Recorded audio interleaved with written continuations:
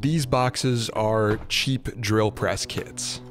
I got them for about $20 each on eBay. Now, why on earth would I need two drill presses? Well, I'm not actually using either of them for their intended purpose. For me, it's just a cheap way to get a relatively robust press without having to custom build one. The second copy comes into play for spare parts that I'll be using to modify the first one. I'm making a longer bracket from the handle of the second press, which should give the up and down motion a little bit of extra range. This press is going to become a plastic injection molder, and the longer range of motion it has, the more plastic I can move. The basic concept with injection molding is heating up a medium to its melting point and then injecting it into a negative, a mold. So all this machine really needs to do is heat up a bunch of plastic and then squeeze it out of a nozzle. The only other thing restricting my range of motion on this press is this pin. I'm replacing it with this longer bolt that'll allow the lever to move a bit further before stopping. With the basic press motion working, I took apart the other drill press head to use as a holder for what will be the heating chamber.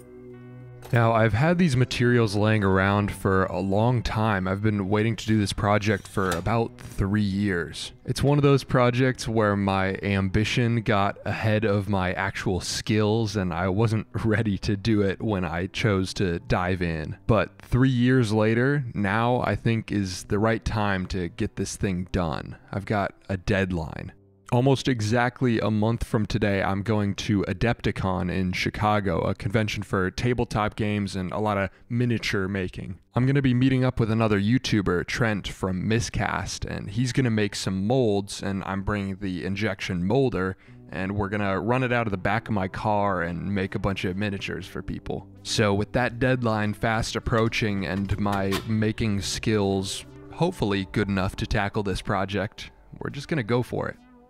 Now, the plans for this injection molder I didn't design myself. The idea and these custom milled parts for the plunger and heating chamber came from a YouTuber called Buster Beagle 3D. He's updated the design a lot over the years since I bought the parts for the original version, and his work on this project is super creative and very easy to follow, so check out his channel if you're interested in doing this as well.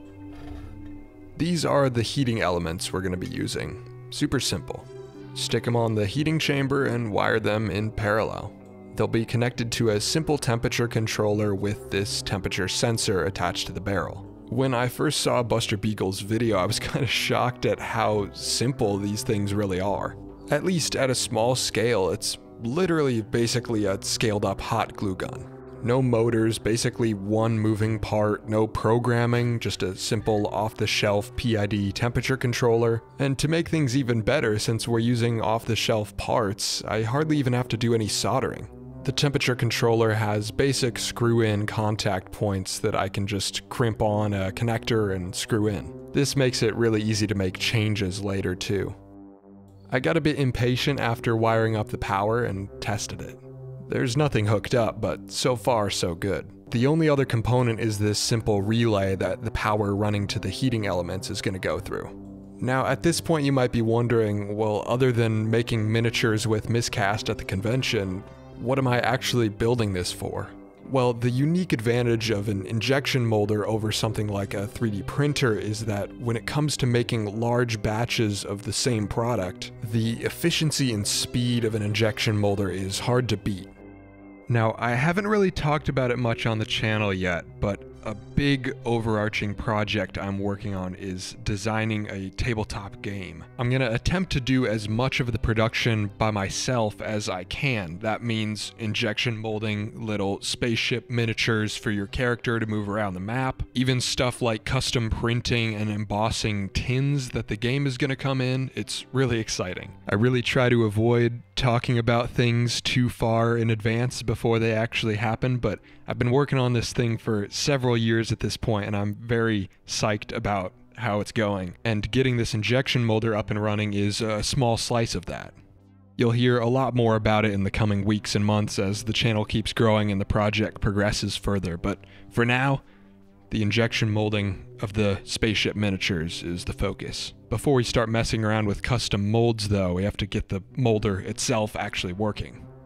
On the first full power up, everything seemed to be working, the heaters started to heat up, but my temperature gauge was going down.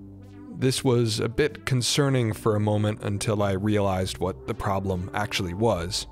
Yeah, so it's just reading negative, so switching these backwards should bring it back to positive. A pretty easy fix. I had just wired my two leads for the temperature sensor backwards, so it was reading the correct temperature, just negative.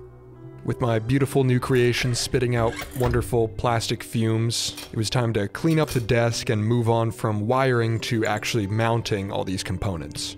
I chose to use this base from an old photo enlarger which is now mounted to my desk as the top camera rig. As always, somehow I find a way to incorporate scrap wood into literally anything.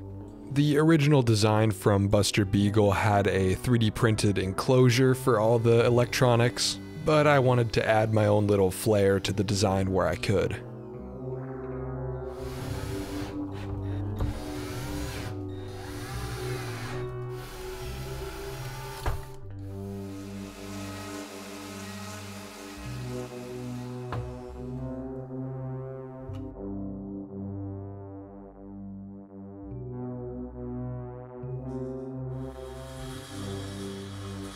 Whenever I do wood staining, I like to do it straight on my desk. Whatever I spill doesn't go to waste, it's just free wood stain for the workbench. I opted to mount the temperature controller at 45 degrees so it's still nice and usable whether I'm operating it seated or standing. I might change all this orientation later, but for now it gets the job done. So now that I have everything packaged up into one solid unit and it's not a mess of dangling wires, I'm going to take it out to my car and see if I can run this thing off the inverter so I can do on the road injection molding. Okay, so the hope is I can get this thing up to about 200 C, 400 Fahrenheit in that range without it smoking out or breaking or something. Now, the moment of truth when I flip this switch, will it popped my breaker. Apparently not. We are reading 75C, still hot from earlier. We'll see if we can get it all the way up. Watch my car just light on fire in 30 seconds. I think the computer is slowing down because it's, uh, it knows it's close to the target temperature of 200. And there we are. That's a success. I think that's hot enough to melt polyethylene, which is what I'm using. My source of polyethylene? Harbor Freight 5 gallon bucket. The really cool thing about injection molding is that basically any injection molded product you can cut apart and reuse the plastic yourself. Some kind of grinder setup eventually might be pretty nice for this, but for now, cutting them apart works and into the fire they go for the first extrusion test. Now, I don't actually have any hard molds yet, which will be a whole nother project, but with the molder working, I gotta try it out on something. For now, a socket and an extension will function as sort of a de facto two-part mold. And as a tiny preliminary test, it actually worked out pretty well, aside from all the rust it picked up from the inside of the socket. Once I've got them made, I can actually tackle some pretty big molds with this thing. This was only about half the barrel full of plastic. So overall, I'm really happy with where this project's at so far and what it's able to do. Honestly, I wasn't sure I'd be able to get this thing working in just a week for the video. That being said, making molds for this thing is going to be tougher than, you know, a traditional resin pouring mold. It's a whole different set of design constraints. So next Tuesday, we're going to dive into that and see if I can make me some little spaceship miniatures. And I'm very excited to share more details about the tabletop game. But that's it for this week. Thank you for your time.